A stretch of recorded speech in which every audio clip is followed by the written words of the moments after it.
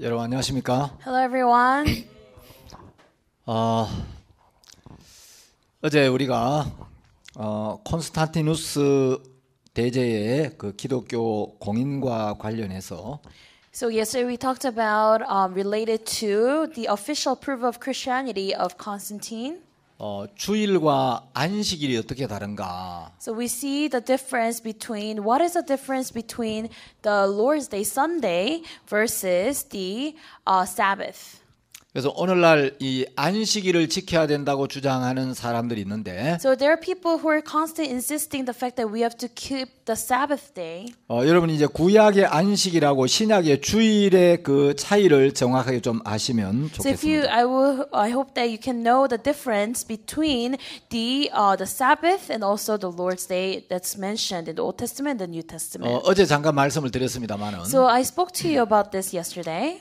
어, 안식일을 지켜야 된다고 주장하는 사람들은 So those people who are insisting that we need to keep the Sabbath day, 어, 원래 구약의 안식일은 이제 금요일 해질 때부터 토요일 해질 때까지였다. so in the Old Testament, the Sabbath day started from the sunset of Friday until the sunset of Saturday. 그래서 율법에 따른 안식일은 이제 일요 어, 일요일이 아니고 토요일이다. So according to the law, Sabbath is not Sunday, and they're saying it's Saturday. 그래서 구약 시대에는 토요일에 안식을 했고 So in the Old Testament, they did the Sabbath on Saturday. 어, 초대 교회에도 토요일에 이제 안식일 안식일을 지켰는데 So in the beginning churches as well, on Saturday, that's the day that they kept the Sabbath. 콘스탄티누스 황제가 이제 기독교 공인을 하고 So after Constantine, he officially approved Christianity. 서기 321년 3월 7일에 So on AD 327, 21st, uh, March 7th, 로마 제국의 모든 종교는 전부 일요일에 예배를 드리도록 하라. so all the religions in Roman Empire, they need to have service on Sunday, he said. 이런 명령을 내리게 되었다. So he declared that. 그래서 이제 321년에 일요일 휴업령을 공포했는데 So AD 321, they were able to declare the Sunday law. 그 콘스탄티누스 황제의 명령에 따라서 So according to the declaration of the emperor, 토요일에 예배를 드리던 기독교인들이 the Christians they were having service on Saturdays. 일요일에 예배를 드리기 시작했다. So they started to have service on Sunday, they said. 근데 이것은 하나님의 말씀에 따라 예배 날짜를 바꾼 게 아니고 But they're saying that, oh, they didn't change the date according to the word of God. 국가 권력을 가진 황제의 명령에 따라 바꾼 것이기 They 때문에 say they changed it according to the declaration of the emperor of the country. 우리가 토요일에 예배를 드리지 않고 일요일에 예배를 드리는 것은 잘못된 것이다. So they're saying that it is wrong to have service on Sunday, uh, on Saturday, uh, Sunday instead of Saturday, they're saying. 그래서 우리는 황제의 명령을 따라야 하는 게 아니고 So they're saying that we shouldn't follow after the declaration, the order of the emperor, 하나님의 말씀에 따라 but according to the word of God. 원래대로 토요일에 예배를 드려야 된다. We need to once again have service on Saturday. 더구나 일요일에 예배를 드려서는 안 되는 중요한 이유가 있는데 Moreover, there is a very important reason why we should have service on Sunday. 콘스탄티누스 황제 당시에 일요일은 태양신의 축제일이었다. So at the time of Emperor Constantine, Sunday used to be the festival for the sun god. 그리스도인들이 왜 태양신의 축제일에 예배를 드려야 되냐? So Christians, why should we have service on the day that is the festival for the sun god? 그래서 일요일이 태양신의 축제일이었다는 증거가 있다. So they're saying that there's a proof that Sunday was the festival for sun god. 그 증거가 지금도 일요일을 썬데이라고 한다. And the proof is because we still call Sunday as Sunday. 그래서 그 선이란 말이 바로 태양이란 말이지 않느냐. So sun means like sun, right? 그래서 원래 일요일은 태양신에게 예배를 드리는 날이었기 때문에 So they're saying that Sunday supposedly be the day that they worship the sun god. 그리스도인들이 태양신을 숭배하는 날 하나님께 예배를 드린다는 건 성경적이지가 않다. So they're saying that it's not biblical for them to serve the sun god on Sunday, which is, you know, the day for the festival for the sun god. 이건 잘못된 것이기 때문에 So people are saying that, oh, because that's wrong. 원래대로 우리는 일요일 예배를 드리지 아니하고 토요일에 예배를 드리는 것이 성경적이다. So they're saying it is more biblical for us to have service on Saturday instead of Sunday. 이게 이제 오늘날 안식일을 일요일에 지켜야 된다, 아, 안식일을 토요일에 지켜야 된다고 주장하는 사람들의 교리입니다. So this is the doctrine of those people who say that we need to have service on Saturday except in- instead of Sunday. 그런데 이것은 전혀 사실과 다릅니다. But actually this is completely different from facts. 성경 전체에 안식일이라는 단어가 58회 나옵니다. So throughout the Bible, about 58 times the word Sabbath comes out in the Bible. 56 문장에 58번 등장하는데 So within 56 sentences, there is 58 times that the word Sabbath is mentioned 아, 이 신약 성경에 그렇게 나옵니다. in the New Testament.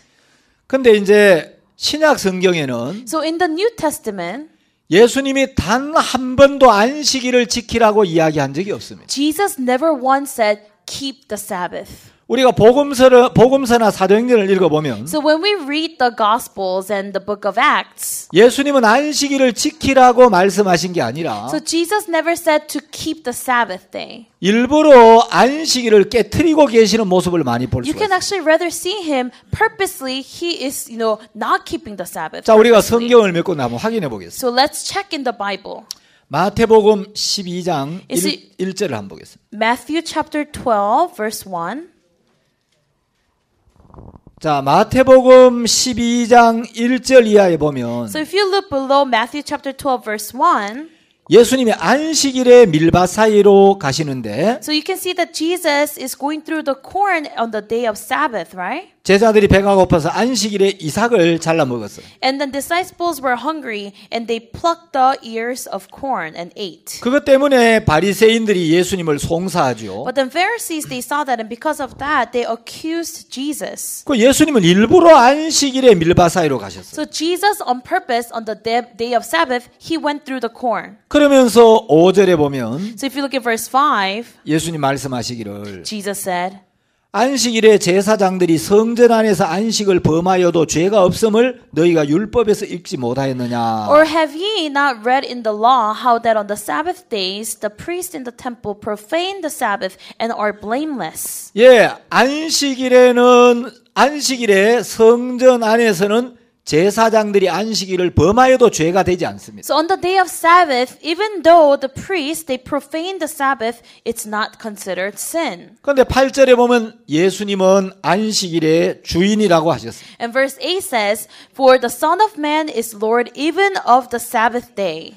자, 마태복음 12장 9절을 또 보겠습니다. So let's look at Matthew chapter 12, verse 9. 여기 이제 9절 이하에 보면 한편 손 마른 사람이 나오는데 So you can see below that there is a person whose hand is withered. 자, 예수님이 언제 이 사람을 고치느냐? So when did Jesus cure this person? 안식일에 한편 손 마른 사람을 고쳐 주는 거예요. So here on the day of Sabbath, he was able to cure this person with withered hand. 예수님이 일부러 자꾸 안식일을 깨뜨리는 걸 볼 수가 So you 있습니다. can see Jesus purposely, he is breaking the Sabbath day. 자, 누가복음 13장 16절을 한번 보겠습니다. So let's look at Luke chapter 13, verse 16. 자, 누가복음 13장 16절에도 보면 Luke chapter 13, verse 16. 아, 10절부터 보면 Actually, starting from verse 10. 여기 이제 18년 동안 귀신 들린 어떤 사람 한 여자가 나오는데 So there's a woman who had the evil spirit for 18 years. 예수님은 안식일에 이 사람을 고쳐 주시는 거예요. And then Jesus cured this woman on the Sabbath day. 자, 요한복음 5장을 한번 보겠습니다. Let us look at John chapter 5.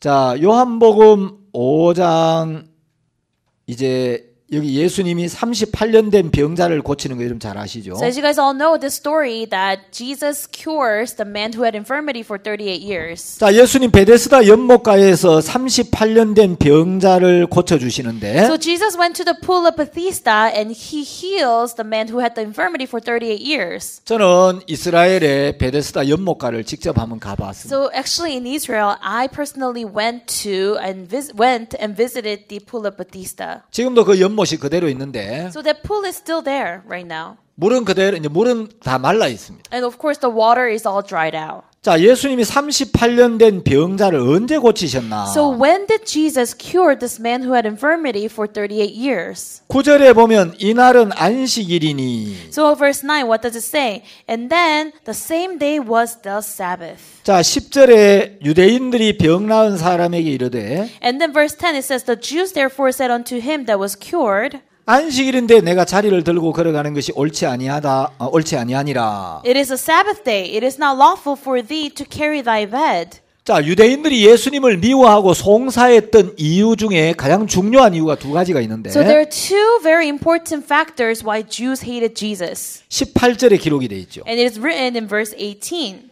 유대인들이 이를 인하여 더욱 예수를 죽이고자 하니 Therefore, the Jews sought the more to kill him, 이는 안식일만 범할 뿐 아니라 because he not only had broken the Sabbath, 하나님을 자기의 친 아버지라 하여 자기를 하나님과 동등으로 삼으심이라. but said also that God was his father, making himself equal with God. 자, 유대인들이 예수님을 죽이고자 할 만큼 미워했던 이유는 So the reason why Jews hated Jesus so much that he wanted to, they wanted to even kill him 안식일을 범했다는 거죠. was because he went against against the Sabbath day. 자, 요한복음 5장 18절에는 So if you look at John chapter 5 verse 18, 분명히 예수님이 안식일을 지킨 게 아니고 안식일을 범했다고 기록돼 so 있어요. it is clearly written that Jesus did not keep the Sabbath ba- day, but he broke the Sabbath day. 여러분 신약 성경에서 예수님은 단 한 번도 안식일을 지키라고 말씀하신 적이 없습니다. So in the New Testament, never once did Jesus ever say to keep the Sabbath day. 예수님은 일부러 안식일에 병을 고치시고 He purposely cured the sick on the day of Sabbath. 안식일에 밀밭 사이로 지나가시면서 제자들 이 미리삭을 잘라 먹게 하시는 걸 볼 수 있어요. And you can see how he purposely went through the corn and he told the disciples to eat the ears of the corn as well. 자, 신약 성경에 보면 So if you look at the New Testament, 예수님이 안식일을 지키라고 하신 게 아니고 Jesus never said to keep the Sabbath day. 예수님은 안식일에 어떻게 자유하셨는지 So Jesus tells you how he was free on the Sabbath day. 그리고 이제 바울이 안식일에 하는 일들을 보면 And when you look at the things that Paul does on the day of Sabbath, 바울은 안식일을 지킨 게 아니고 Paul did not keep the Sabbath. 또 안식일을 지키라고 가, 가르친 것도 아니고 And he actually never taught to keep the Sabbath. 바울이 안식일에게 어, 안식일에 어떻게 선교하였는지에 대한 이야기를 오히려 기록해 놓고. Rather, the Bible is written about, it records about the works that Paul did on the Sabbath day. 자, 안식일을 지켜야 된다고 주장하는 사람들은 So the people who are insisting that they have to keep the Sabbath,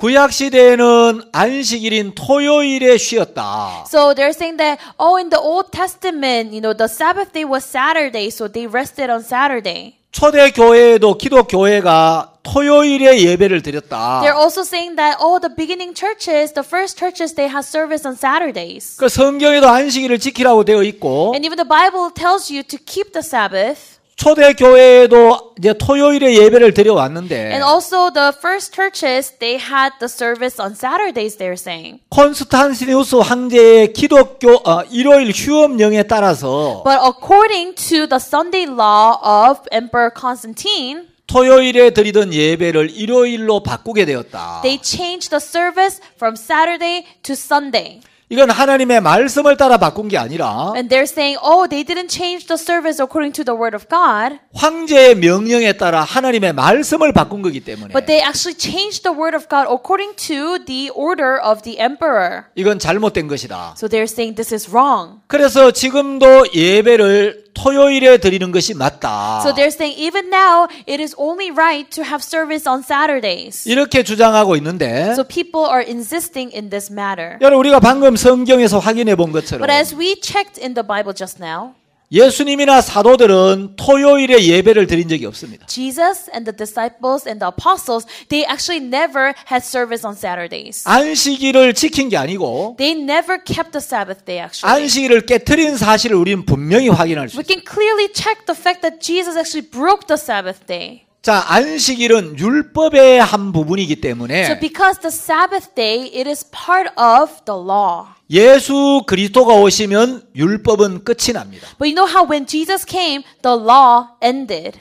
이제 로마서 10장에 보면 So if you look at Romans chapter 10, 로마서 10장 4절에 Romans chapter 10 verse 4. 그리스도는 모든 믿는 자에게 의를 이루기 위하여 율법의 마침이 되시니라 하고 기록되어 It is written, For Christ is the end of the law for righteousness to everyone that believeth.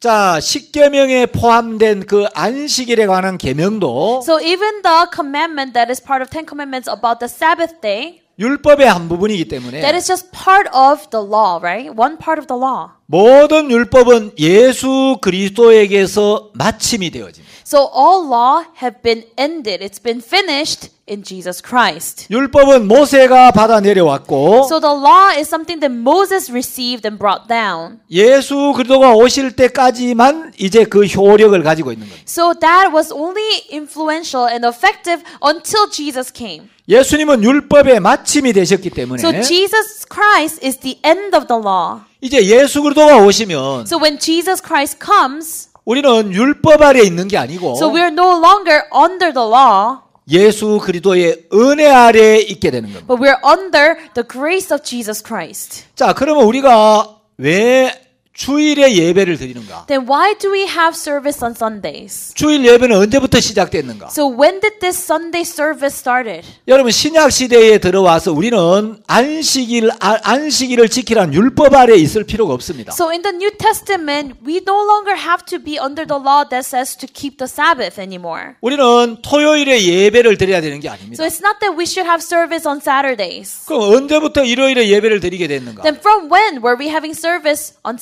Sundays? 자, 안식일과 주일은 전혀 개념이 다릅니다. So Sunday and the Sabbath is completely different concept. 자, 이제 안시, 어, 주일에 예배를 드리는 몇몇 가지 이유가 있는데 So there are reasons why we have service on Sunday, which is the Lord's Day.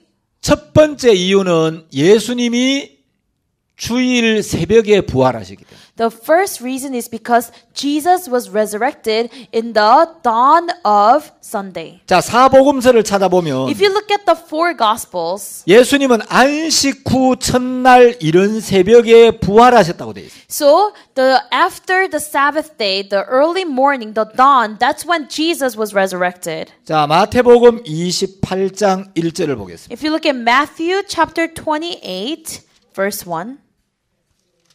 자, 마태복음 28장 1절에 보면 Matthew chapter 28, verse 1.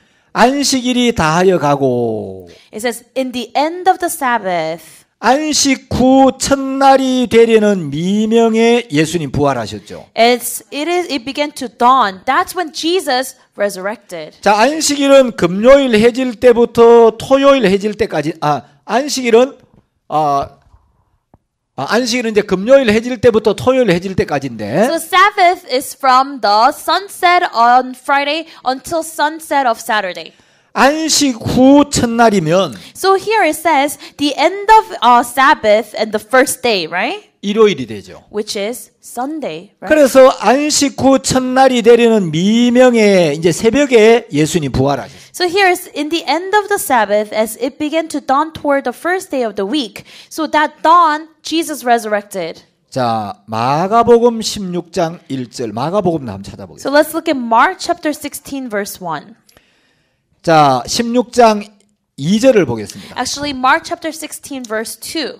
안식 후 첫날 매우 일찍이 해돋은 때에 So here, and very early in the morning, the first day of the week. 자, 안식일이 토요일이니까 So because the Sabbath day is Saturday, right? 안식 후 첫날 매우 일찍이면 일요일 새벽이죠. So and very early in the morning, the first day of the week, when is that? That is Sunday early morning. 자, 요한복음에도 한번 찾아보겠습니다. So let's look at it, book of John as well. 요한복음 20장 1절. John chapter 20, verse 1. 안식 후 첫날 이른 아침 아직 어두울 때에 막달라 마리아가 무덤에 와서 돌이 무덤에서 옮겨간 것을 보고 So here it says, The first day of the week cometh Mary Magdalene early, when it was yet dark, unto the sepulchre, and seeth the stone taken away from the sepulchre. 자, 이 복음서를 보면 So if you look at the uh, Gospels, 예수님이 부활하신 날이 바로 일요일 이른 새벽이었습니다. so Jesus was resurrected at the dawn of Sunday.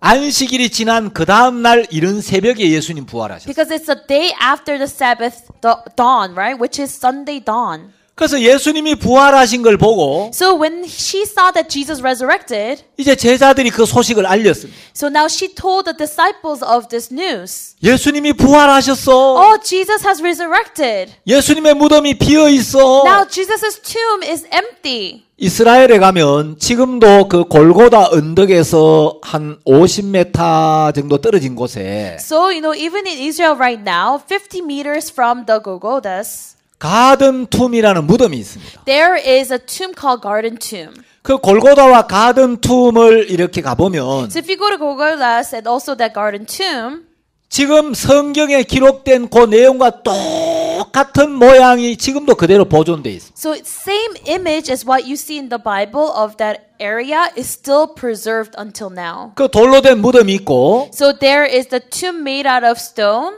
그 무덤 앞에 보면 이 돌을 굴리는 홈이 지금도 그대로 파여 있어요. And if you look in front of the tomb, there is this dent. There's like a, you know, holes on the ground where you uh, push the uh, door of the tomb. 그래서 예수님이 부활하신 후에 그 무덤에 갔던 여자들이 So you know the women who went to the Jesus' tomb after he resurrected. 누가 우리를 위하여 돌을 굴려 주리오라고 했는데 Remember, they were wondering who will move the stone for us. 아 예수님의 무덤을 입구를 막았던 이 돌은 굴렸구나. Ah, the stone that was covering the tomb of Jesus has already been rolled. 여러분 이스라엘에 가보시면 그 무덤에서 그걸 분명히 지금도 볼 수 있어요. And if you go to Israel, you can actually see those traces even now. It's preserved. 자 이제 예수님 부활하신 걸 보고 So, you know, when they saw that Jesus resurrected, 예수님이 십자가에 못 박혀 죽으실 때 제자들은 막 큰 슬픔과 실망에 빠졌었는데 so you know, when Jesus was being crucified on the cross, the disciples and they were so sad. 부활하신 예수님을 보면서 But when they saw Jesus who resurrected, 예수님이 사망의 문을 여시고 and then Jesus was able to open the doors of all areas, 사망의 권세를 깨뜨리고 and he was able to break down all the authorities. 사망을 이기시고 승리한 걸 보면서 So he won over death and he was victorious. 제자들은 너무 큰 기쁨과 감격에 사로잡혔어요. And when the disciples saw that, they were greatly touched and they were greatly happy. 그래서 제 주님의 부활을 축하하고 And then they celebrated uh, Jesus' uh, resurrection. 기뻐하고 And they were happy about it. 그날 제자들이 모임을 갖기 시작한 거예요. And then they started to have meeting from then. 자, 그래서 그게 이제 주일이 된 겁니다. Now that became the Lord's Day Sunday. 자, 그래서 주일에 모임을 갖게 된 것은 구약의 안식일이 연장된 것이 아니고 So, you know, the fact that they had service starting from Sunday is not the extension of the Sabbath from the Old Testament. 안식일은 예수님이 오시면서 끝이 났고 The Sabbath day actually ended as Jesus came. 예수님의 부활을 기뻐하고 축하하기 위하여 주일에 제자들이 모이기 시작한 겁니다. So the disciples started to gather on Sunday to celebrate the uh, resurrection of Jesus Christ. 그리고 성경을 읽어 보면 So when you constantly read the Bible on and on, 예수님이 이제 부활하시고 승천하시는 날까지 so after Jesus he resurrected until the day that he ascended, 사람들에게 모두 11번 나타나셨는데 he came to he appeared in front of people 11 times. 그 중에 6번은 주일에 나타나셨어요. Among the 11 times, 6 times he appeared on Sunday. 그래서 이제 주일에 모임을 갖기 시작한 거예요. That's why they started to have service on Sundays. 두 번째 주일에 예배를 드리는 이유는 And the second reason why we have service on Sundays 성령이 주일에 강림하신 겁니다. because the Holy Spirit descended on Sunday. 자, 성령이 내려오신 날이 언제지요? So when is the day that the Holy Spirit descended? 예. 성령이 오신 날이 일요일입니다. Yes, it is Sunday that the Holy Spirit descended. 자, 성령이 강림하신 날이 사도행전 2장을 보면 오순절이죠. So if you look at Acts chapter 2, you know on the day of Pentecost, that's when the Holy Spirit descended, right? 자, 오순절이란 말은 50일째 되는 절기 이 말이죠. So the uh, Pentecost means the 50th day. 그럼 오순절은 언제로부터 50일째 되는 날인가? So start, starting from when the 50th day? 예수님이 부활하신 날로부터 50일째 되는 날을 오순절이라고 합니다. So ever since Jesus resurrected, 50 days after that, that 50th day is the day of Pentecost. 자, 예수님이 부활하신 날이 무슨 요일이라 그랬죠? So what day did Jesus resurrect? 자, 예수님이 부활하신 날이 일요일이죠. Yes, Jesus resurrected on Sunday, right? 자, 요 일요일이 한 주의 시작입니다. Sunday is the first day of the week, correct? 일요일이 주의 첫날이죠. So first day is uh, Sunday is the first day of the week, right? 사람들은 보통 월요일이 주의 첫날이라고 생각하는 사람들이 있는데 So a lot of people they think Monday is the first day of the week. 달력을 보면 항상 일요일이 먼저 나오죠. But when you look at the calendar, what does it always start with? Sunday. 그 일요일이 주의 첫날입니다. So Sunday is the first day of the week, everyone. 그러면 이제 예수님이 부활하신 날이 So the day that Jesus resurrected, 자, 부활하신 날이 일요일입니다. so Jesus resurrected on Sunday, right? 그러면 예수님이 부활하신 날로부터 이제 한 주 주말이 무슨 요일입니까? So now, after one week of Sunday that Jesus, res- Jesus resurrected, the weekend, what day is what day is it? 자, 일요일부터 한 주 주말은 토요일이죠. So Sunday and the end of the week is what? Saturday. 자, 그러면 이제 오순절은 예수님 부활하신 날로부터 50일째니까 7주를 곱하면 7주 주말이 49일째가 되는 날은 토요일이 됩니다. So everyone look. So Sunday, right? And then 50 days after that. So Saturday times 7 is 49, right? And the 50, yeah. 맞습니까? Is it correct so far? 자, 예수님이 일요일 날 부활하셨고 So Jesus resurrected on Sunday, 이제 한 주 주말이 토요일인데 and the end of the week is Saturday. 이제 일곱째 주 이제 49일째는 토요일이 돼요. So seven weeks after that, which is you know, times seven is 49, right? 49 day. 그러면 성령이 강림하신 날 오순절은 예수님이 부활하신 50일째 된 날이니까 So now the 49th day is Saturday, right? So next day is 50th day, right? That's the day of Pentecost. 예, 토요일 다음 날인 일요일이 So 되어지죠. what day does that become? Sunday, which is after Saturday. 그래서 오순절은 일요일입니다. That's why the day of Pentecost is Sunday. 자, 오순절에 성령이 임해요.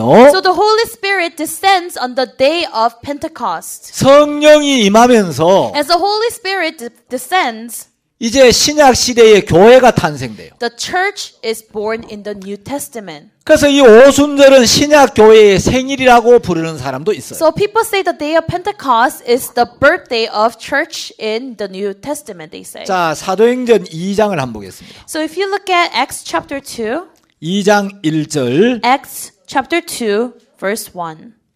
오순절 날이 이미 이르네. And when the day of Pentecost was fully come, 자, 오순절이 이르고 이제 2절, 3절, 4절을 보면 성령이 임하는 이제 장면이 기록되어 so 있습니다. if you read verse 2, 3, 4 after that, you can see how the Holy Ghost descends, right?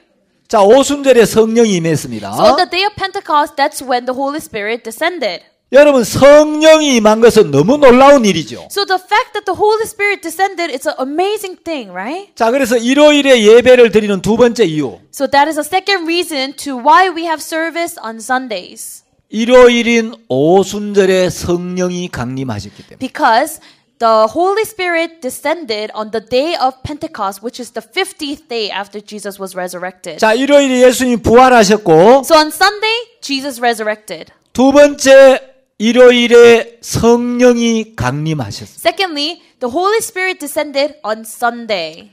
자, 여러분, 구약의 안식일은 휴식의 개념이에요. So everyone, in the Old Testament, the day of Sabbath, it's a concept of rest. 안식일은 쉬는 날이에요. Sabbath day is the day that you rest. 엿새 동안 힘써 일을 하다가 You worked really hard for six days. 아무리 힘든 일을 하다가도 And no matter how difficult works you've done, 아무리 급한 일이 있어도 no matter how urgent things that you need to take care of, 금요일 해가 딱 지면 at the point that's on Friday, the sun sets, 이제 종들은 그 모든 일을 내려놓고 all the servants need to put down what they were doing 쉬게 되는 것처럼 and they rest.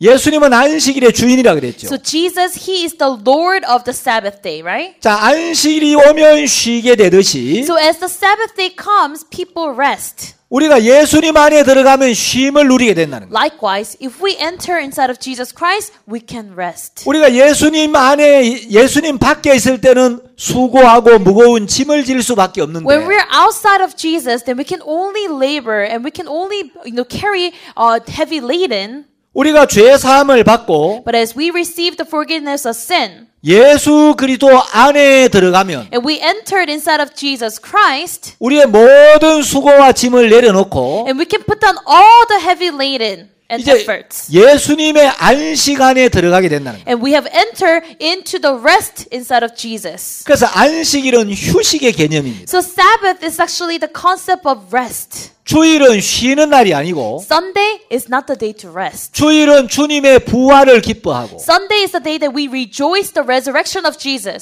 성령의 강림을 기뻐하고 And we are rejoicing the fact that the Holy Spirit descended. 부활하신 주님을 예배하는 날이에요. And we worship Jesus who's resurrected. 주일은 쉬는 날이 아니고 So Sunday is not a day that you rest. 하나님께 예배를 드린 날이에요. It's a day that we worship God. 그러니까 주일은 예배를 드려야 돼요. So Sunday, we need to worship God. 구약의 안식일이 신약의 주일이 되는 게 아니라는 So 겁니다. it's not that the Sabbath day in the Old Testament becomes the Lord's day in the New Testament. No. 자, 이제 오순절 날 성령이 임했는데 So on the day of the Pentecost, the Holy Spirit descended. 사도행전 2장 14절을 봅시다. If you look at Acts chapter 2 verse 14. 베드로가 열한 사도와 같이 서서 소리를 높여 가로되 Here it says, But Peter, standing up with the eleven, lifted up his voice. 자, 사도행전 2장 14절을 보면 So if you look at Acts chapter 2 verse 14, 오순절날 사도들의 첫 설교가 있었다. on the day of the Pentecost, there was the first sermon preached by the apostles. 베드로만 설교를 한 게 아니고 So it wasn't just Peter who preached. 베드로가 열한 사도와 같이 서서 소리를 높여 말씀을 외쳤다. Here it says, But Peter, standing up with the eleven, lifted up his voice. 오순절에 모든 사도들이 큰 소리로 예수 그리스도의 죽음과 부활의 능력을 증거했다. So the day of Pentecost, not only Peter, but all disciples of Jesus, they stood up and they preached about the uh, Jesus Christ's resurrection and his 자, death. 우리가 잘 아는 사도행전 2장 38절 As we all know really well, Acts chapter 2, verse 38. 죄 사함을 얻으라 그리하면 성령을 선물로 받으리니 He said, "Re- Be baptized, every one of you, in the name of Jesus Christ, the remission of sins, and ye shall receive the gift of the Holy Ghost. 자, 이 약속도 오순절에 베드로가 전한 설교의 한 부분이에요. So this promise is also the partial of the sermon preached by Peter. 자, 오순절에 사도들이 말씀을 So 전했고 on the day of Pentecost, the apostles they preached sermon. 42절에 보면 If you look at verse 42, 이제 예루살렘에 있던 성도들이 사도의 가르침을 받아 서로 교제하고 떡을 떼고 기도했다고 되어 있어요. so the saints, uh, the uh, people in Jerusalem, city of Jerusalem, they were able to eat bread together, pray, have fellowship, and pr- uh, right. 자, 주일에 사도들의 가르침을 받아서 So here they received the doctrine and teachings of apostles, 서로 교제하고 and they have fellowship with one another. 떡을 떼고 They broke bread 기도했다는 거죠. and they prayed. 자, 그래서 주일에 예배를 드렸다는 걸 사도행전 2장에서 우리가 분명히 확인할 수 있는 거예요. So in Acts chapter 2, we can definitely prove the point that they had service on Sunday. 그래서 제자들은 부활에 대한 어, 부활하신 주님에 대한 감사와 그 헌신의 표시로 So apostles, they were so thankful about Jesus' resurrection. And as a sign of devotion, 주일에 예배를 드리기 시작했는데 they started to have service on Sundays. 주일에 예배를 드리는 것은 So the fact that we have service on Sundays, 율법적인 차원에서 드리는 게 아니라 it's not according to the law.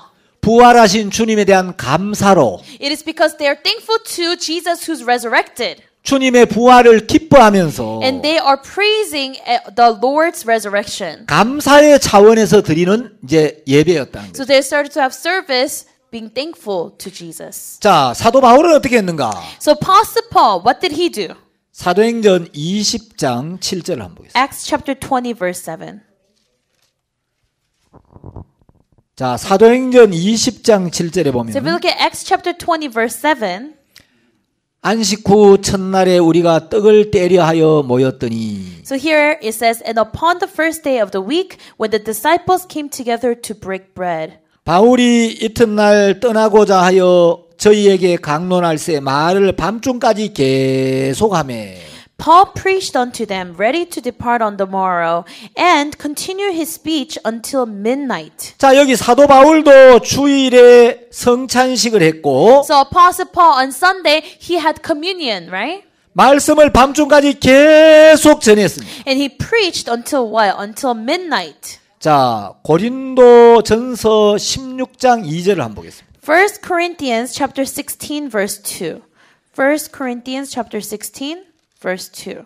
자 고린도전서 16장 2절에 보시면 So when you look at 1 Corinthians chapter 16 verse 2, 매 주일에 예배를 드리고 모임을 가졌다는 분명한 증거가 있습니다. there is a clear evidence that they had service every Sunday. 여기 바울이 고린도 교회 성도들에게 뭐라고 이야기를 합니까? So Paul tells the people of the church in Co- Corinth like this. 매 주일 첫날에 너희 각 사람이 일을 얻은 대로 저축하여 두어서 내가 갈 때 연보를 하지 않게 하라. He says, Upon the first day of the week, let every one of you lay by him in store as God hath prospered him, and there be no gatherings when I come. 자, 성경적인 연보는 So, offering, biblically, 한 달에 한 번 하는 게 아니고 is not something that you do once a month. 매 주일 첫날에 하라고 이야기해요. It says to do it the first day of the week.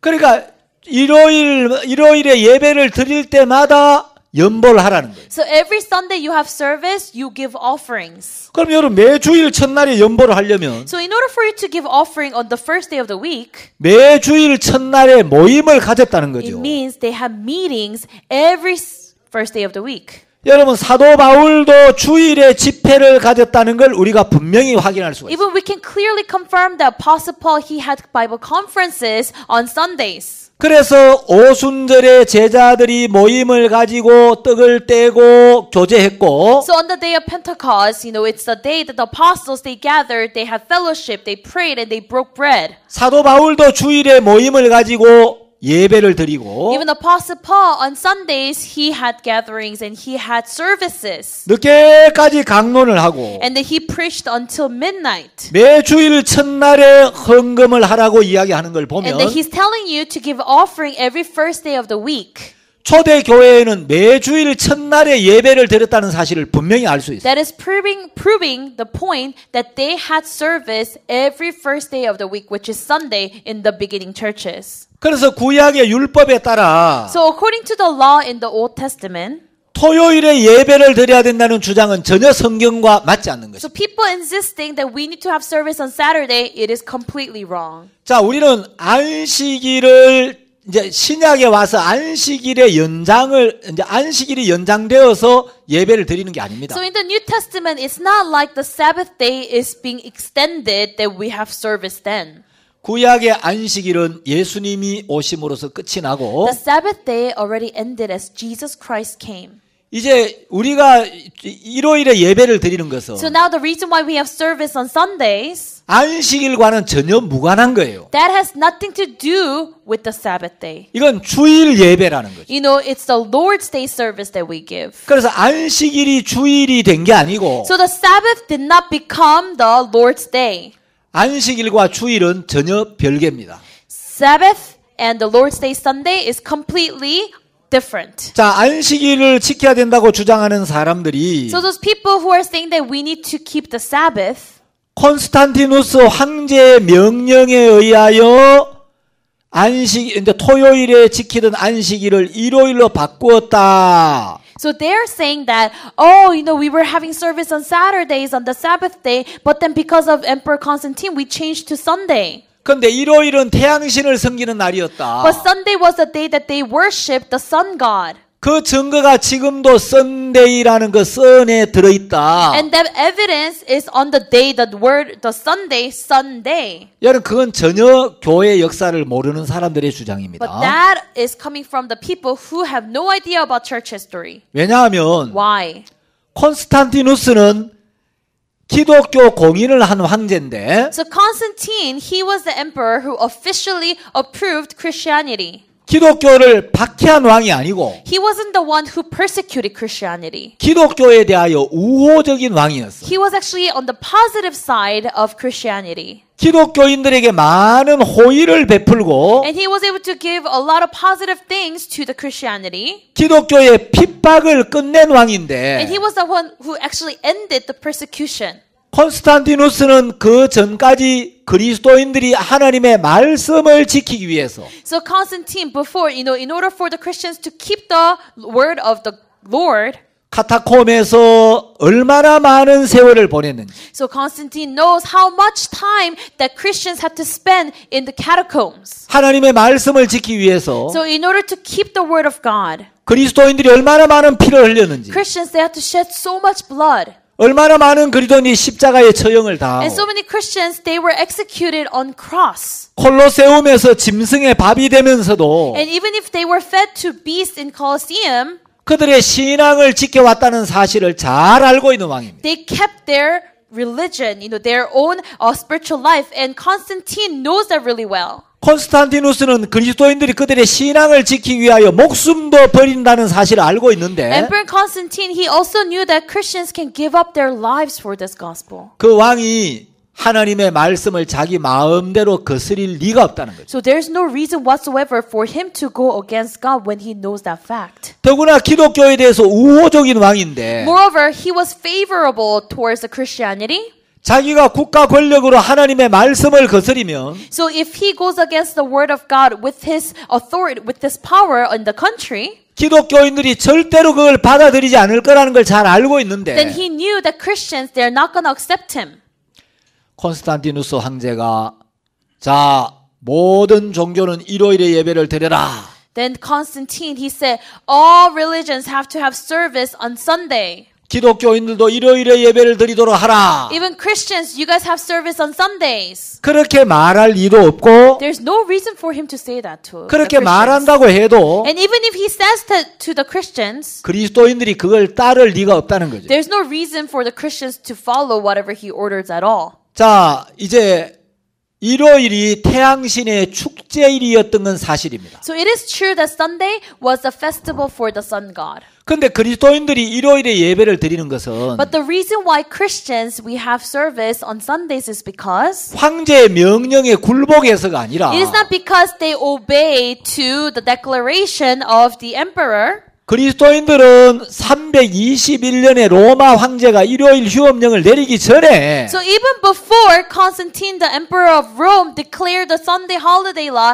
in AD 321, 예수님의 부활을 기념하고 축하하기 위해서 already before that, in order for them to celebrate and congratulate Jesus' resurrection, 성령의 강림을 기념하기 위해서 in order for them to commemorate the day when the Holy Ghost descended, 그리고 사도들의 전통을 따라서 and following the customs of the apostles. 그 전부터 이미 일요일에 예배를 드려오고 있었어요. Already before that, they've been having service on Sundays. 그 로마 황제가 일요일에 예배를 드려라 하는 명령을 내리기도 전에 Even before the Roman Empire, em, emperor, he said, okay, have service on Sundays. 원래부터 이미 일요일에 예배를 드려오고 있는데 Originally, already, the Christians had service on Sundays. 콘스탄티누스 황제가 일요일에 예배를 드리라 하니까 And now the Emperor Constantine said, okay, have service on Sundays. 그날이 태양신의 축제일과 공교롭게 겹치게 된 거예요. Coincidentally, it was same day that they worshiped the sun god. That's it. 그래서 굳이 그걸 거부할 이유가 없었던 거예요. So there was no reason for the Christians to go against what he said because he already they already had service on Sunday. 그래서 그리스도인들은 일요일에 예배를 드리게 된 겁니다. That's how the Christians they started to have service on Sundays. 자, 그래서 우리가 성경을 읽어 보면 So when you read the Bible, 처음에는 예수님의 부활을 이제 어, 예수님 부활한 날을 안식 후 첫날 이렇게 표현했어요. so in the beginning they would express it as the day that Jesus resurrected, which is the first day after the Sabbath. 그 다음에 우리가 방금 읽어본 고린도전서 16장 2절에 보면 But as you can see on 1 Corinthians chapter 16 verse 2 that we just read, 이제 시간이 조금 지난 뒤에 요게 매 주일 첫날 이렇게 표현이 좀 바뀝니다. so the time passed, right? So now they started to express it as first day of the week. 그 다음에 일요일에 예배를 드리는 또 하나의 이유가 있는데 And there's another reason why we have service on Sundays. 사도 요한이 요한 계시록의 이 계시를 받은 날이 일요일입니다. So Apostle uh, John, the day that he received the revelation from God is Sunday. 자, 사도 요한이 반모섬에 유배를 가서 So you know how Apostle John, he was uh, banished to Patmos Island. 거기서 하나님의 계시를 받았는데 And then there he received the revelation from God. 자, 요한계시록 1장 10절에 보면 If you look at Revelation chapter 1 verse 10, 사도 요한이 주일에 이 계시를 받았다고 기록을 했어요. So here it says, I was in the spirit of the Lord's day, Apostle John, he received a revelation. 자, 계시록 1장 10절에 보면 So if you look at Revelation chapter 1 verse 10, 주의 날에 내가 성령에 감동하여 so here it says, I was in the spirit on the Lord's day. 자, 이걸 책에 써서 일곱 교회에 보내라 하는 음성을 들었죠. And then he heard the voice saying, uh, write it in a book and send it to the seven churches. 자, 요한계시록 1장 10절에 주의 날이 나옵니다. So here it says in Revelation chapter 1 verse 10, it says the Lord's day. 이게 바로 주일이란 말입니다. Now this Lord's day is Sunday. 그래서 처음에는 안식 후 첫날이라고 부르다가 So you know, but you know, before in Corinthians they called it the first day of the week, right? 그 다음에 매 주일 첫날이라고 일컫다가 You know, oh, and then later they started to say first day of the week. 이제 요한계시록 1장 10절에 오면 But when you look at Revelation chapter 1 verse 10 here, 주의 날, it now it's called the Lord's day. 주일이란 말이 나오는 거예요. The Lord's day, which is also considered Sunday. 그래서 주일에 예배를 드리는 것은 굉장히 성경적입니다. So it is very biblical for us to have service on Sundays. 일요일에 예배를 드리는 것이 성경적이고 So it is biblical for us to have service on Sundays. 일요일은 예배 드리는 날이기 And Sunday is a day that we worship God. 쉬는 날이 아니에요. It's not a day for us to rest. 그래서 이 날은 주의 날이기 때문에 So because it is the Lord's day, 주의 뜻에 따라 according to the will of God, 주님을 섬기고 we serve Him. 주님의 부활을 기념하고 And we commem- commemorate the resurrection. 주님의 부활을 기뻐하고 And we praise the resurrection. 함께 모여서 And we're able to gather together. 서로를 격려하고 And we fellowship each other. 떡을 떼고 We break bread. 아름다운 교제를 나누며 And we're able to have beautiful fellowship with one another. 기도했다는 사실을 우리는 초대교회에서 분명히 알 수가 있어요. And then they prayed. And we can know that from the first churches in the Bible. 그래서 초대교회 성도들은 And also the church members in the first 이 churches. 주일을 굉장히 아름다운 날로 여긴 거예요. They consider Sunday to be a very beautiful day. 주님의 부활을 축하하고 It's a day that you congratulate the resurrection of Jesus. 주님이 부활하신 그것을 기뻐하고 They're very happy about the fact that Jesus resurrected. 기념하고 And they commemorate it. 즐거워하고 And they're very pleased. 경배하는 이 전통이 이제 사도들로부터 시작된 겁니다. And they worship God. And that began from the apostles. 그래서 여러분 주일은 자기 마음대로 예배를 안 드리고 쉬면 되는 날이 아니에요. So Sunday is not a day that you can just rest however you want and you just do whatever you want. It's not that day. 주일은 주님께 예배를 드린 날이란. Sunday is a day that we worship God. 그래서 우리가 성경을 읽어보면 So when you read the Bible, 아 일요일에 예배를 드리는 것이 성경적이고 you will know that it is biblical to have service on Sundays. 사도들도 그렇게 했구나. Even that's what the apostles did. 이런 사실을 우리가 분명히 알 수가 있습니다. So we can know that clearly. 자, 여러분 이제 안식일과 주일 개념 이해 So 가십니까? everybody, do you guys understand the concept of the Sabbath day and also the um what is it? The uh the Lord's day, right? Everybody understand? 자, 안식일 교회 교인들의 주장이 왜 잘못된지 이해 So 가시죠? now you know the Seventh Day Advent- Adventists, whatever they're insisting is wrong, right? 자, 이제 주일과 안식일에 대해서 이 정도 좀 So 이야기하겠습니다. now, you know, I will uh, conclude about the topic here. 자, 어제 이제 로마 카톨릭의 심벌 마크에 대해서 좀 이야기를 So 드렸습니다. yesterday I told you guys about the symbol mark symbol of the Roman Catholics. 콘스탄티누스가 이제 서기 312년에 So Constantine in AD 321 밀비안 다리에서 막센티우스와 전쟁을 했다 그랬죠. at the Milvian Bridge battle, you know, he battled together with Maxentius. 콘스탄티누스가 어느 날 환상을 봤답니다. So Constantine, he once saw the illusions. 그 환상 속에 십자가가 보이고 In his illusions, he saw a cross. 이제 저 심벌 마크가 보이면서 And he also saw that symbol mark right there. 하늘에서 음성이 들리기를 And then he heard a voice in heaven. 이 증표 안에서 승리하리라. It says, In this sign you will conquer. 그래서 이제 콘스탄티누스가 막센티우스와 전쟁을 하러 나가면서 So as Constantine went to go on a battle with Maxentius, 병사들에게 모든 깃발에 저 심벌 마크를 그려 넣어서 나가서 싸우라고 했어요. he told all the soldiers to engrave that symbol on their flags and go to the battle. 그래서 이제 전쟁에 승리를 했다는 거죠. So and then they were victorious from the battle. 자, 이제 그때부터 이제 콘스탄티누스 아, 그 전쟁에 이기고 나서 콘스탄티누스가 기독교 공인을 하게 되고 So from then, Constantine he wins the battle and he officially approves Christianity from then. 콘스탄티누스는 기독교를 정치적으로 이용하기 시작합니다. And Constantine started to use, actually, use the Christianity for his politics. 그런데 콘스탄티누스의 개인적인 삶을 보면 So when you look at the personal life of Constantine, actually, 이 사람은 죽을 때까지 세례 받는 걸 미루고 he actually postponed being baptized until, bef- like, right before his death. 또 자기 왕후를 처형을 시키기도 하고 And he even executed his own queen. 또 이방 제사장의 직분을 자기가 갖고 있기도 합니다. He also took the, you know, the Gentile uh, God's uh, priest position. 이방 신의 대제사장의 이름이 이제 폰티맥스 막시무스라는 이름이었는데 So Pontifex Maximus was the name of the um, high priest of the other religion. 그 이방 신의 제사장을 폰티맥스 막시무스라고 했는데 So they used to call the priest of that, you know, foreign god as Ponti- Pontifex Maximus. 콘, 콘스탄티누스 황제는 그 타이틀을 계속 가지고 있었어요. So Constantine, he actually constantly had this title. 자, 정말 거듭난 사람이라면 So if he was actually really born again Christian, 이방 신의 제사장의 직분을 가질 이유가 없죠. there's no reason for him to take the position as the high priest of other Gentile religion.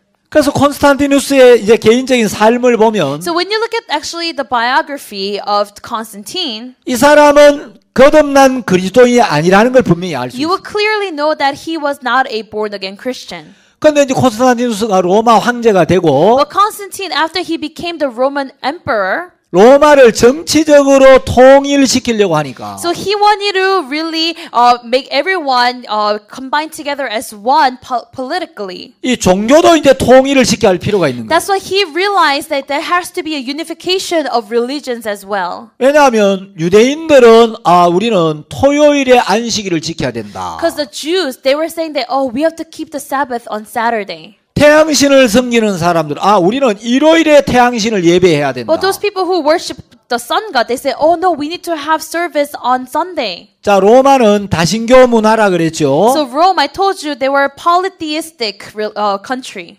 그리스 로마 신화에 보면 If you look at Greek mythology, 뭐 로마의 신들이 굉장히 많이 나오죠. there's a lot of gods in Roman Empire. 제우스, There's Zeus, 뭐 올림푸스, Olympus, 비너스, Venus, 바카스, Bacchus, 뭐 프로메테우스 Prometheus. 이런 많은 신들이 나오는데 So there's a lot of gods in Greek mythology. 이제 다신교 문화인 로마에서는 So in Rome, which was a polytheistic country, 각자 자기들의 신을 섬기고 예배하는 날이 다 다른 거예요. people they all had different days to worship their own gods. 그래서 이제 콘스탄티누스 황제가 That's why the emperor Constantine 자 우리 로마 제국 안에 있는 모든 종교인들은 he said all the religions that's within the Roman Empire, 어떤 종교를 믿든지 regardless of which religion you believe in, 전부 일요일에 예배를 드려라. you guys all have service on Sunday. 그건 정치적으로 로마를 통치하기에 편하도록 그렇게 명령을 내린 So 거예요. he declared that only because it's easy for him to reign over them 그리고 이제. 그리고 이 콘스탄티누스 황제가 And the emperor Constantine 교회 행사를 이제 주관하기도 하고 You know, he used to be in charge of like church events. 그때부터 이제 교회에 영향력을 행사하기 And he 시작. started to influence the churches as well. 그래서 이제 서기 325년에는 So if you look at the AD 325, 유명한 니케아 종교 회의를 개최합니다. there's a very famous religious council of Nicaea. 니케아는 오늘날 이제 터키 지역에 있는 도시인데 So it's a city as of now is in Turkey. 이제 로마 황제가 모든 경비를 지출하고 So the Roman emperor, he paid for all the funding that was needed for this council. 로마 제국에 있는 모든 기독교 지도자들을 초청했어요. And he invited all the church leaders in Roman Empire. 자, 이 니케아 종교회의는 굉장히 중요한 의미가 있는데 So this Council of Nicaea is actually very meaningful. It has a very important meaning in it. 이 니케아 종교회의에 이제 로마 제국의 많은 기독교 지도자들이 모였는데 So a lot of the church leaders gather at this council. 그때 이제 그, 어, 이제 삼위일체 문제가 이제 등장하기 시작합니다. At that time, they started to talk about the topic of the Trinity. 어, 그, 갑자기 이름이 잘 생각이 안 나네. 이제, 어, 이 니케아 종교 회의에서 어떤 이제 그 교단의 대표자가 So at the time of the Council of Nicaea, there was a person who is in charge of a certain sect. 예수님은 우리 인간들보다는 월등히 뛰어나지만 He said, Yeah, Jesus is much superior than us humans, 예수님은 하나님이 아니고 but then Jesus is not God. 예수님은 뛰어난 피조물이다. Jesus is just an excellent creation, he said. 이런 주장을 합니다. So that was his opinion. 그때 이제 알렉산더라는 한 그 이제 기독교 지도자가 참석했는데 But there was a church leader, a Christian leader named Alexander. 이아그 어, 예수님이 피조물이라고 주장했던 그 감독의 이름은 아리우스였습니다. So Aeneas, he was the one who insisted about the fact that uh, Jesus is just a creation. 근데 이제 그 알렉산더라는 감독의 수행원으로 왔던 집사가 한 사람이 But 있었는데 there was a deacon who came along together with Alexander. 그 사람이 이제 아타나시우스라는 사람입니다. He is Athanasius. 이 아타나시우스가 아리우스의 주장이 잘못됐다. So Athanasius, he said, "Oh, what Ari- Arius is saying is wrong. 예수님은 피조물이 아니라 Jesus is not a creation. 예수님은 하나님이시다. Jesus is God." 그래서 그 아타나시우스의 주장이 잘못된 걸 성경적으로 공격해서 So he attacked him, saying that what he's saying is wrong biblically. 예, 그 아타나시우스가 아, 아리우스의 주장이 잘못된 걸 공격해서 So Athanasius, he was able to attack Arius. What he was saying was wrong. 삼위일체 교리를 확립을 시킵니다. So he was able to confirm the fact of the Trinity. 자, 예수님은 피조물이 아니라 하나님과 동일한 분이라는 걸 우리 성경에서 한번 찾아보겠습니다. So let's look at the Bible that Jesus is not just a creation. He is same as God. 로마서 9장 5절 Romans 9 verse 5. 조상들도 하면 아, 조상들도 저희 것이요 육신으로 하면 그리스도가 저희에게서 나셨으니 저는 만물 위에 계셔 세세의 찬양을 받으실 하나님이시니라. Whose are the fathers and of whom as concerning the flesh Christ came, who is over all God blessed forever. Amen. 여기 분명히 그리스도는 하나님이라고 명확하게 언급을 하고 있어요. It is clearly written here that Christ is God. 자, 또 예수님과 하나님은 한 분이라는 분명한 증거가 있는데 There's another clear evidence that God and Jesus is one. 그게 요한복음 1장입니다. That's John chapter 1. 자, 요한복음 1장에 보면 태초에 말씀이 계시니라. So John chapter 1 it says in the beginning was the word 이 말씀이 하나님과 함께 and the 계셨으니 word was with God 이 말씀이 하나님이시다. and the word was God. 자, 3절에 보면 So if you look at verse 3, 만물이 그로 말미암아 지은 바 되었다. all things were made by him.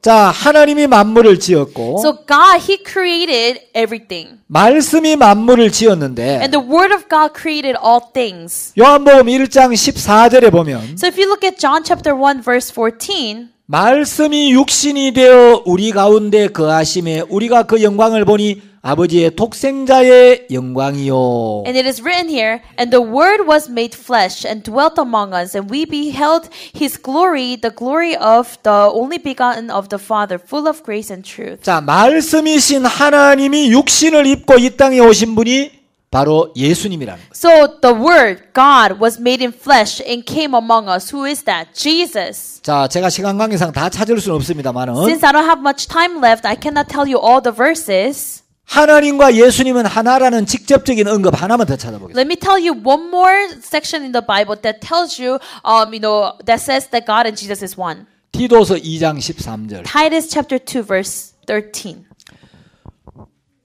복스러운 소망과 우리의 크신 하나님 구주 예수 그리스도라고 돼 있죠. Here in Titus chapter 2 verse 13 it says, "Looking for that blessed hope and the glorious appearing of the great God and our savior Jesus Christ." 자, 디도서 2장 13절은 분명히 하나님 구주 예수 그리스도라고 돼 있어요. Titus chapter 2 verse thir- 13 clearly says, what? Great God and our savior Jesus Christ. 그래서 이제 이 니케아 종교 회의 때 So at the Council of Nicaea, 알렉산더가 아리우스의 주장이 이단적이다. Alexander said what Arius is saying is very cult-like. 예수님은 피조물이 아니라 So Jesus is not a creation. 예수님은 하나님의 본체이시고 He is God himself. 예수님은 하나님과 동일하시다는 걸 분명히 입증을 했습니다. And that he proved that God and Jesus is the same. They're one. 그런데 이 아리우스들은 아리우스 파들은 계속해서 알렉산더를 모함하고 But people of Arius, they would constantly go against Alexander 아타나시우스를 모함해서 and they would conspire against the Athanasius. 이 아타나시우스는 삼위일체 교리를 세우는데 일생을 헌신했습니다. So Athe- A- Athanasius, he was able to pour all of his life, devote his life to prove the point of the Trinity. 그 아리우스의 주장을 깨뜨리고 So in order for him to break the opinion of Arius, 삼위일체의 교리가 진리라는 걸 이제 입증하는데 자기 일생을 다 들이면서 he devoted his whole life to prove the point that the Trinity is truth. 여러 번 유배를 가고 So he went to Jude many times. 많은 어려움을 겪었습니다. Oh, he was banished many times and he had to go through a lot of difficulties. 그 아타나시우스가 한 말 중에 유명한 말이 하나 있는데 So among the things that Athanasius said, there's really famous thing that he said. 인간은 본성상 필멸의 존재이나 은총으로 불멸의 존재가 되었다 이런 So 말. it says that humans, they were actually from nature, they were doomed to death, but by grace we became immortal.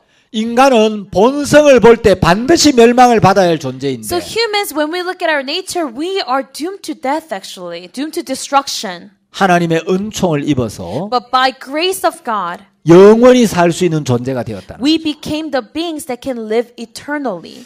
자 이제 이 로마 황제가 니케아 종교 회의를 소집하고 So the Roman Empire, he's the the Roman emperor, he's the one who uh, started the Council of Nicaea. 이제 황제가 종교 회의에 나타나면서 And now you see a emperor coming to the religious council. 국가 권력을 가진 황제가 이제 교회의 영향력을 행사하는 거예요. So now he started to put in his own influence within Christianity. 이제 그때부터 이제 이 교회가 국가 권력에 점점 더 휘말리기 시작합니다. From then, the church became more influenced by the government. 그래서 이제 교권 제도가 점점 이제 세워져 가는 거예요. So now there is this, you know, authority, you know, of the government constantly building up. 그 전까지 정치와 종교는 분리되어 있었는데 So actually, before that, church, religion, and also the uh, government politics was separated. 이제 종교가 정치와 국가 권력의 영향을 받기 So 시작합니다. now the religion started to receive the influence from the politics and the government. 근데 이제 콘스탄티누스가 나중에 수도를 옮기게 돼요. So Constantine later he changes the capital city. 이제 이민족의 침입이 많아지니까 So there was a lot of invasion from other countries. 수도를 로마에서 콘스탄티노플로 옮깁니다. So what happens is he changes the capital city from Rome to Constantinople. 그래서 이제 새로운 도시를 건설하고 So then he creates the new city there, 자기 이름을 따서 and he took the city after his name. 그 새로운 수도의 이름을 콘스탄티노플 이렇게 So he called it Constantinople. 여러분 이스라엘에 가면 가이사랴라는 도시가 있죠. So if you go to the um, know, Israel, there is a city named uh, uh, Caesarea. 그 가이사랴는 가이사에게 바쳐진 도시 이런 뜻이에요. And that city name means that city was given, devoted to Caesar. 그래서 헤롯이 로마 황제 가이사에게 잘 보이기 위하여 So Herod, in order for him to look good in front of Caesar, who was the Roman emperor, 가이사랴라는 도시를 건설하고 he was able to build a city named after Caesar. 로마 황제 시저에게 바쳤다고 해서 And then he gave that city to, uh, you know, he devoted to Caesar. 그 도시 이름을 가이사랴 이렇게 한 겁니다. That's why the name of the city is Caesarea. 어, 제가 가이사랴에 한번 가보니까 So I've actually been there once. 바닷가의 도시가 너무 아름다운 도시. And it's a city nearby the ocean. It's really beautiful. 자, 이집트에 가면 알렉산드리아라는 이제 항구가 있죠. If you go to Egypt, there is the um the shore that's called after um Alexandria. 그 도시는 왜 알렉산드리아라고 했느냐? So the reason why that city is called Alexandria is because 알렉산더 대왕이 이집트를 정복하고 because after Alexander, you know, he uh, conquered Egypt. 알렉산더 대왕이 세운 도시다. So it's a city that Alexander established. 그래서 그 이름을 알렉산드리아라고 붙였어요. That's why that city's name is Alexandria. 자, 이제 콘스탄티누스 황제가 새로운 수도를 건설하고 So Emperor um, Constantine, he was able to build a new capital city. 자기 이름을 따서 And he took it after his own name. 그 도시 이름을 콘스탄티노플이라고 붙였어요. And he called that city Constantinople. 자, 지금까지 모든 정치 경제의 중심이 로마였는데 So you can see how all the you know religion and also politics was concentrated or centered on Rome. 황제가 새로운 도시를 건설하고 정치 권력의 중심이 콘스탄티노플로 이동되니까 So now the politic authority power was moved to Constantinople as the emperor changed the capital city.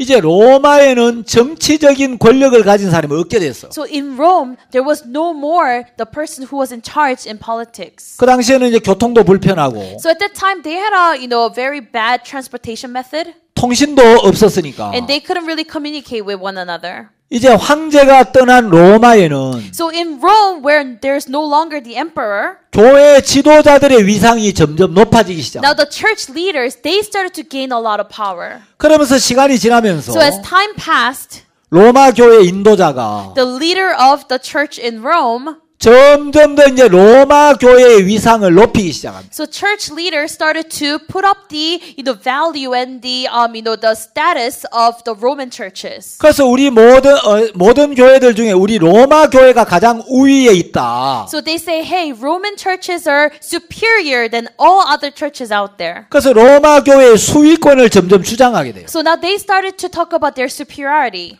그래서 이제 로마 교회의 그 수위권을 주장하기 위해서 In order for them to insist that, 사도 바울이 로마에 와서 복음을 전했고 so you know how Apostle Paul came to Rome and preached the gospel. 사도 바울이 로마에서 복음을 전하다가 순교했다. And they said the Apostle Paul came to Rome and as he was preaching the gospel, he was martyred. 그리고 베드로도 로마에 와서 순교를 했다. Even Peter died, you know, he became a martyr in Rome, they said. 여러분 쿠어 바디스라는 영화를 보면 If you watch the movie Kobanis, 베드로가 로마에 가서 순교하는 그런 이야기가 나오는데 there's a story about how Peter goes to Rome and he dies there and becomes a martyr. 사도 바울은 로마에서 순교를 당한 게 사실입니다. So it is true that Apostle Paul, he was martyred in Rome. 사도행전 27장 28장을 보면 If you look at Acts chapter 27 verse 28, 바울이 로마에 서 복음을 전한 사실이 분명히 기록돼 it is 있고 clearly written that Paul, he was preaching the gospel in Rome. 바울이 로마에 간 건 사실인데 It is true that he went to Rome.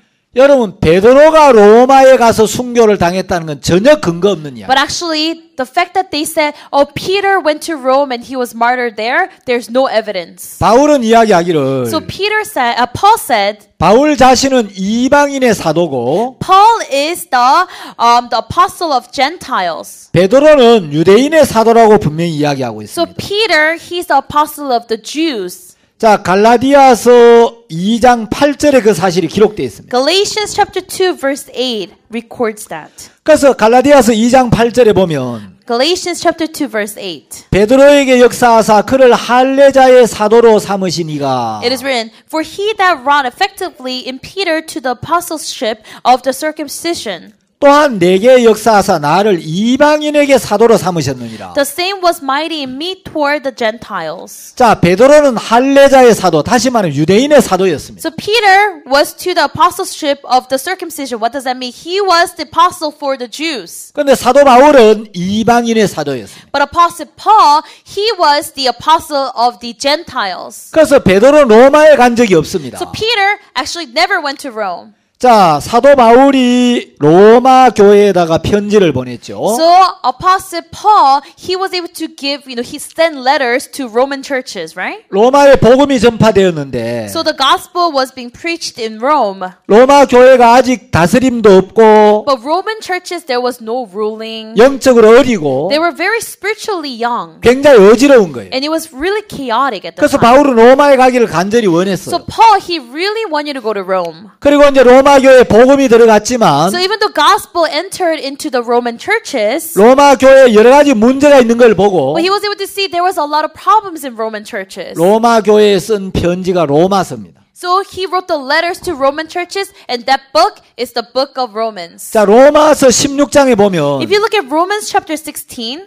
바울이 로마 교회에 있는 성도들 한 사람 한 사람의 이름을 기록하면서 안부를 전합니다. he writes each members of the Roman church one by one, and he asks how they're doing. 많은 사람들에게 안부를 전하는데 So he sends his greetings to many, many people. 만일에 정말 베드로가 로마에 있었다면 But if Peter was actually really in Rome, 이 수많은 사람들에게 안부를 전하면서 then while Paul was giving his greetings to so many people here, 바울이 베드로에게 안부를 전하지 않을 리가 없는 거예요. there's no reason whatsoever for Paul to not send his greeting to Peter if Peter was there. 근데 로마서 16장에 보면 But if you look at Romans chapter 16, 베드로의 이름이 전혀 등장하지 않습니다. you do not see the name Peter at all. 여러분 베드로는 로마에 간 사실이 없어요. So, which means Peter never went to Rome. 근데 로마 카톨릭에서는 But in Roman Catholic, 베드로가 초대 교황이고 they said Peter is the first, uh, first pope. 베드로가 베드로가 로마에서 순교했다고 역사를 날조하고 있습니다. And then they actually distorted the history, saying that you know Peter he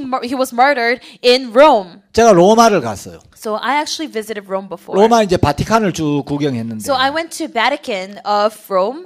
아, 그 로마 교황청하고 보니까 막 구경할 게 너무 많은 거예요. So when you go to the Pope place and all this, you know, Vatican nearby, you know, there's so many things to see. 그러니까 우리를 안내하는 기독교인 이제 그 가이드가 기독교인인데 So actually, the tour guide that was giving us a tour tour was the uh, he was Christian. 아, 여러분 이 베드로가 이 로마에 와서 순교를 했습니다. He said, "Oh, everyone, Peter came to Rome and he was killed here, and then he became a martyr." 그 제가 그 가이드한테 이야기했어요. And then I told the guide, 여자분이었는데 "Oh, she was actually a, it was a female." 아주머니 베드로가 로마에 와서 순교했다는 이야기가 뭘 근거로 한 이야기? I said, "Ma'am, with what evidence are you saying that Peter was martyred in Rome?" 그건 성경적이지 않습니다. So I said, "That's not biblical at all." 베드로는 로마에 간 적이 없습니다. Peter actually never went to Rome. 그 가이드가 잘 알고 가이드를 해야지. So I said, tour guide, if you're a tour guide, then you should definitely know it precisely. 관광객들이 그런 식으로 하면 So if you tell the tourists like that, 굉장히 잘못된 자기 생각을 넣어주는 거라고. then you're giving very wrong thoughts to people. 그래 아주머니가 아 그러냐고 And the lady said, oh, is that so? 굉장히 당황해했어요. And she was really like stunned. 내가 목사인데 And I said, I'm a pastor. 내 기독교 역사도 많이 읽어보고 And I read a lot of church history books. 내 성경을 많이 읽어본 And I also 사람인데 read a lot about Bible.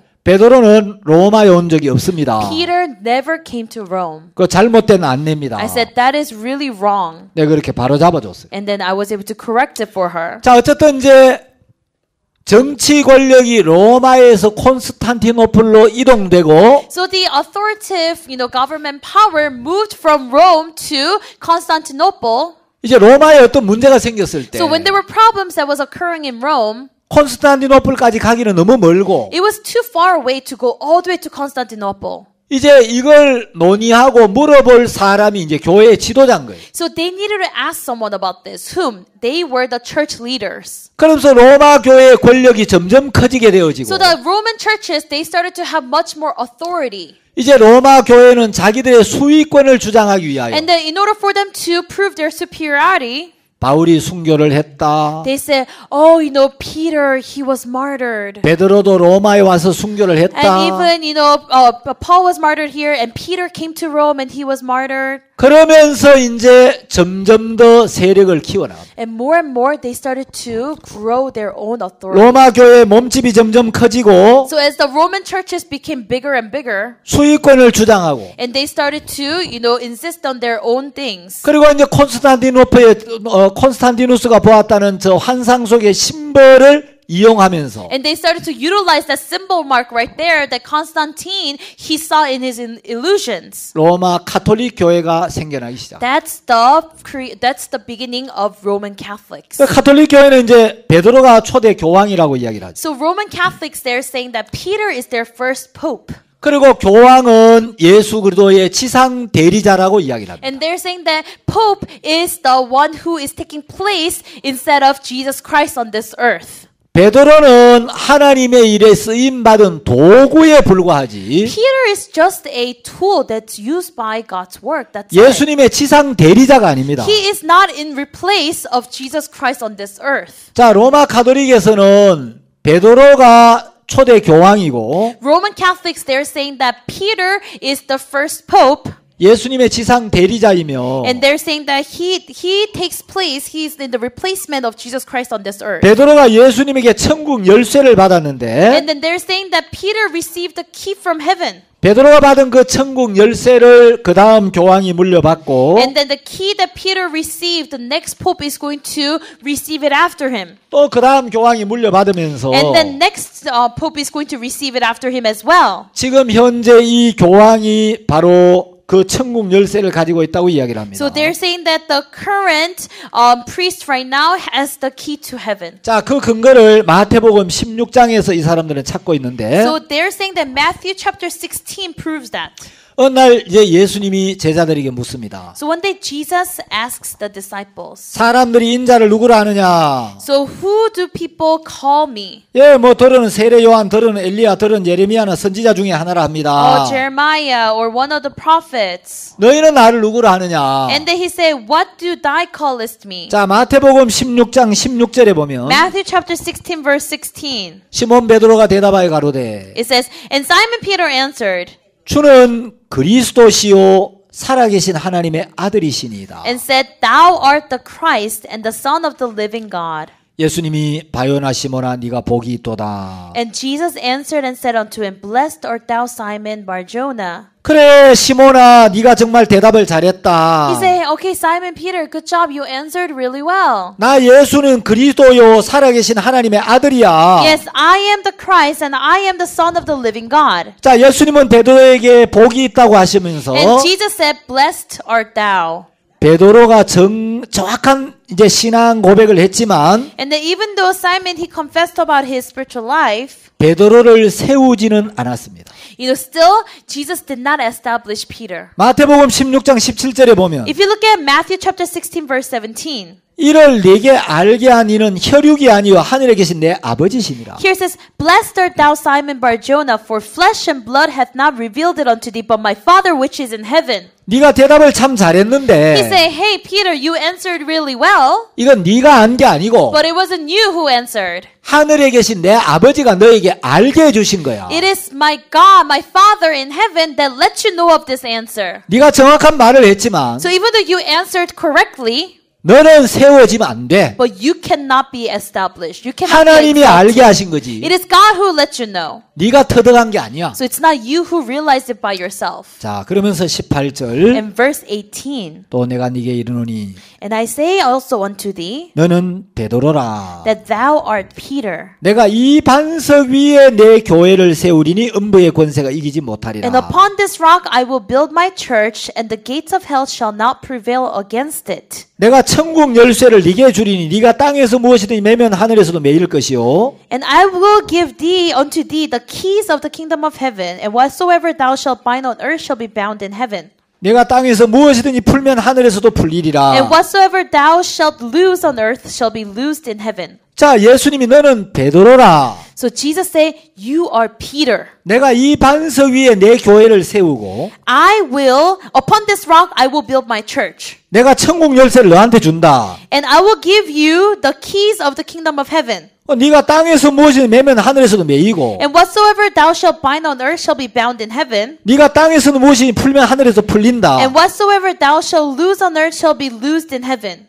그래서 베드로가 천국 열쇠를 받았고 So that's how Peter received the keys of kingdom of heaven. 베드로가 죄를 사하면 사해지고 So if Peter washes sins for you, then your sins are washed. 베드로가 예수님의 지상 대리자다. And then that's why he is replacement of Jesus on this earth. 카톨릭에서 이런 주장을 하는데 That's what Catholics are saying. 그건 성경을 읽어보면 완전히 엉터리란 걸 알 수 있어. But when you read the Bible, that is actually completely wrong. 여기 예수님이 너는 베드로라. Jesus here he says, "Thou art Peter. 내가 이 반석 위에 내 교회를 세우리니. Upon this rock I will build my church." 여기 베드로는 헬라어로는 페트로스라고 되어 있습니다. So Peter in Greek, his name is Petros. 그리고 내가 이 반석 위에 내 교회, 이 반석은 헬라어로 페트라라고 되어 있습니다. And also he said upon this rock, right? Rock in Greek, it's Petra.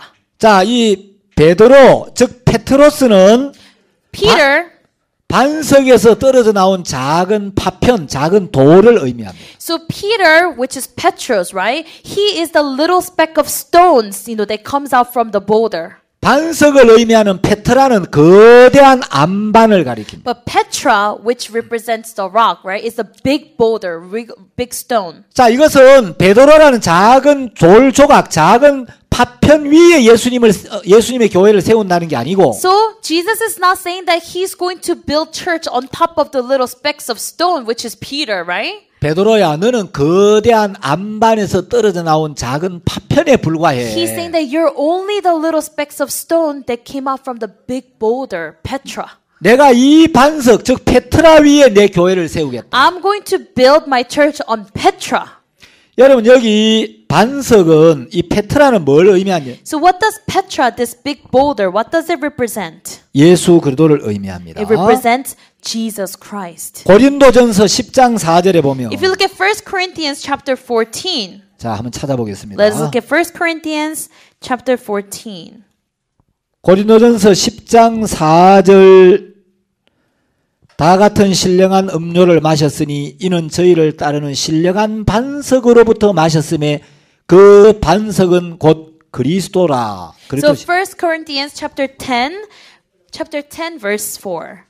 1 Corinthians chapter 10 verse 4. It says, And did all drink the same spiritual drink, for they drank of the spiritual rock that followed them, and that rock was Christ. 자 여기 반석은 예수님을 이야기합니다. Here it says, rock is Christ. 10편 18편 31절에 보면 If you look at Psalms chapter 18 verse 31, 우리 하나님 외에 누가 반석이리요라고 돼. it said, Who else is the rock besides my God? 신명기 32장 4절에도 보면 If you, if you look at Deuteronomy chapter 32 verse 4, 그는 반석이시니 It says, He is the rock. 성경에서 반석은 하나님을 가리키고 So in the Bible, rock represents God. 예수님을 가리킵니다. Rock represents Jesus. 그래서 예수님을 살아계신 하나님의 아들로 고백하는 모든 사람들은 다 페트로스예요. So everyone who confesses the fact that Jesus is the Son of God, they're Petros. 작은 돌들이라는 거예요. They are the small stones.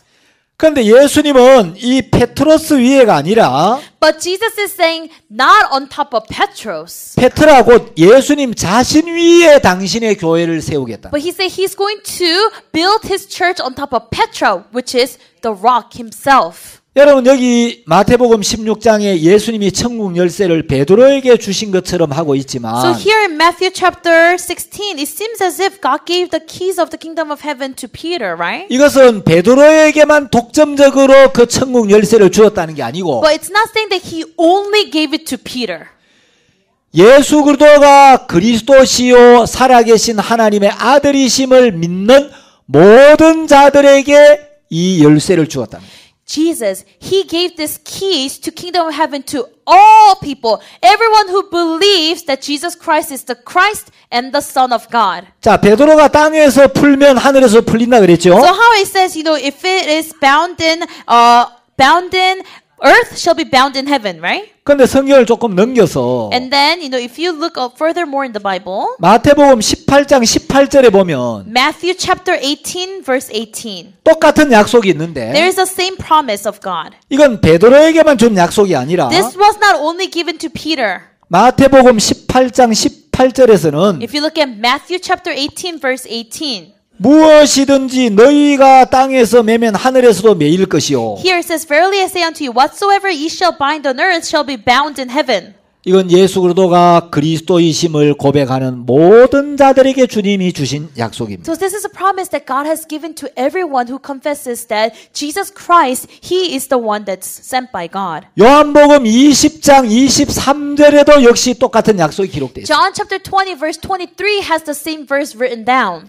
그리고 여러분 교황하고 베드로는 여러 가지 다른 점 많습니다. So everyone, there's a huge difference between Pope and also Peter. 교황은 독신인데 Pope, they're single, right? 베드로는 결혼한 사람이었고 But Peter was married. 베드로 아내가 있었고 Peter had wife. 고린도전서 9장 5절에 보면 분명히 베드로는 아내가 있었습니다. So 1 Corinthians chapter 5 verse 9, you can see that Peter definitely had a wife. 마태복음 8장 14절에 보면 Matthew chapter 8 verse 14 also shows you 베드로는 장모가 있었습니다. that Peter had a mother-in-law. 여러분 베드로가 예수님의 지상 대리자가 될 수 없는 또 하나의 이유가 So 있는데 there's another reason why that Peter cannot be the replacement on earth of Jesus. 갈라디아서 2장 11절 14절에 보면 If you look at Galatians chapter 2 verse 11 and 14, 베드로가 사도 바울에게 면책을 받는 이야기가 나옵니다. Peter he gets chastised by apostle Paul. 자, 바울이 베드로를 남들이 다 보는데 공개적으로 책망을 합니다. Paul he chastises Peter publicly in front of everyone. 만일에 예수님의 지상 대리자가 필요했다면 You know, if the, if we really needed the replacement of Jesus on this earth, 하나님이 사도 바울을 지상 대리자로 세우지. then God would rather choose Apostle Paul 무엇 over 때문에 Peter. 베드로를 지상 대리자로 세웠겠냐? Why in the world would God choose Peter over Paul? 여러분 카톨릭 교리는 여러 가지 문제를 가지고 있어요. That's why you can see that there's a lot of problems that the Catholic churches have. 자, 이제 박우수 목사님 말씀을 들을 시간이 다 됐기 So 때문에 almost time for you to listen to Pastor Oak's Park sermon actually now. 여기까지 하겠습니다. So let me conclude it here. 기도하고 마치겠습니다. Okay, let us pray and finish. 하나님 아버지 감사합니다. Father God, we truly thank you 우리가 교회사를 배우면서 as we study the church history 또 성경을 살펴보면서 and as we look through the Bible. 참된 진리와 거짓된 교리를 분별하게 하시고 You let us di- distinguish what is the truth and what is false doctrine. 우리가 올바른 진리의 말씀 위에 설 수 있게 하신 걸 감사합니다. We're truly thankful that you let the true word of God be established. 남은 시간을 축복하여 주옵소서. We ask you to bless the remaining time. 예수님의 이름으로 In 기도드렸습니다. the name of Jesus, we prayed. 아멘. Amen. 예, 수고하셨습니다. Okay, good job, everyone. 내일 또 이 시간에 뵙겠습니다. So we will see you tomorrow at the same time.